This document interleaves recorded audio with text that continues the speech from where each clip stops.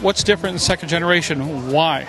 So the primary differences in the second generation Stratus are that it incorporates dual band ADSB in receivers, 978 and 1090 megahertz in receivers. In addition to that, it has backup AHRS solution built right into it that works with a separate little app called Stratus Horizon that we make and publish on the iTunes Store. Basically, what it allows the pilot to do is to fire up the device, throw it on their glare shield, go flying. If they were to get in some sort of a situation where they lost their primary instruments, they'd have that backup AHRS. In addition to the AHRS and the additional ADSB functions, we have some additional connectivity functions with the new device and just general improved performance.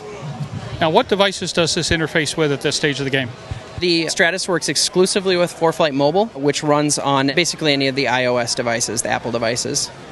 Where did this all come from? As we were looking at the market and becoming aware of the ADSB technology that the government was putting in with the next gen air traffic control system, we began to see that as a good possible market for GA aircraft. Folks who have steam gauges and small aircraft that aren't going to want necessarily to spend a great deal of money to put in a dedicated weather solution in their aircraft. And so we started developing the original Stratus. We found a great partner in ForeFlight and also a great partner in Sporty's for distribution of the product.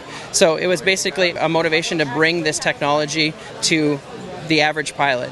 Now we're finding that in addition to those GA pilots that are enjoying them in a 172 or an Archer or something like that, we've got all kinds of bizjet pilots that are flying them. It's been a great thing.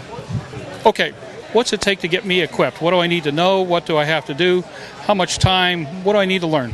Basically, all you do is you power on the device. It creates a wireless network that you can then go into the wireless settings on your iPad, connect to that network, switch back over to ForeFlight, and you're good to go. Availability and cost? 899 for the Stratus 2. We do still sell the original Stratus 1 at 699. Looking forward to seeing what's uh, coming out, and one of these days we're going to have to do an eval on the new unit. We'd love to love to have you do that. Thank you, sir. Much appreciated.